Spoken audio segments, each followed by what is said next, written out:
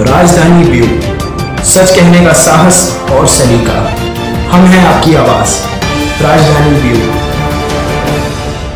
मुख्यमंत्री कन्यादान योजना के अंतर्गत होने वाली शादियाँ ग्रामीण क्षेत्रों में आचार संहिता के चलते रोक लगा दी गई, ऐसे में जिन परिवार जिन्होंने अपने बच्चे और बच्चों की शादियों के लिए पंजीयन कराया था, उनके सामने एक बड़ी समस्या खड़ी हो गई थी, लेकिन विदिशा जनपद और नगर पालिका क्षेत्र के अंतर्गत अड़तीस शादियों का पंजीयन हुआ था, जिसमें से करीब 22 से 25 जोड़ों का विवाह पूर्व नगर पालिका अध्यक्ष मुकेश टंडन के निवास से संपन्न किया जाएगा, उसको लेकर तैयारी चल रही है, जहाँ घर गिरस्ती की सामग्री शहर के सभी नागरिक गणों से एवं पूर्व नगर पालिका अध्यक्ष के चाहने वालों ने बढ़ चढ़कर हिस्सा लिया और वर वधु के लिए घर गृहस्थी की सामग्री जुटाए इस संबंध में उनके समर्थकों ने जानकारी दी। यह एक अच्छी पहल जो एक प्रेरणा भी है सभी के लिए। आचार संहिता लग गई इसके कारण ग्रामीण क्षेत्र में विवाह से वंचित जो जोड़े हैं, उन सभी के लिए शादी करना मुश्किल हो रहा था। इसलिए यहाँ पे मुकेश टंडन वो जी एवं उनके जो फॉलोअर हैं, शुभचिंतक हैं, उनके द्वारा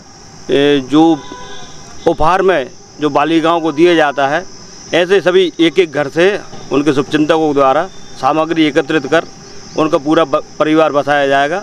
लगभग कितने जोड़ों को ये सुविधा उपलब्ध करा जाएगी? अभी तक ए, 20 और 22 जोड़ों ने यहाँ पर अपनी उपस्थिति दर्ज कराई है और ऐसे 22 जोड़ों के लिए यहाँ व्यवस्था की गई है। बहुगुणा पूर्व पार्षद नगर पालिका आज यहाँ पर किस तरीके की तैयारी चल रही है? ये यहाँ पे क्या है कि विदिशा में जो इकतीस तारीख को शासन की तरफ़ से जो सम्मेलन होना था, वो आचार संहिता के कारण निरस्त हुआ।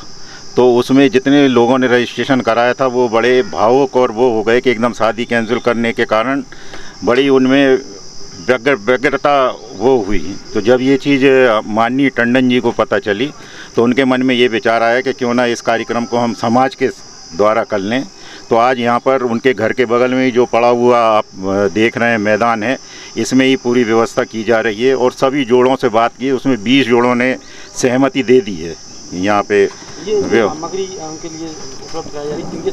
ये ये सब अपने आपसी मित्र जो टंडन जी के शुभचिंतक और मित्र हैं उन सब लोगों ने अपना कलेक्शन किया किसी ने कूलर दिया किसी ने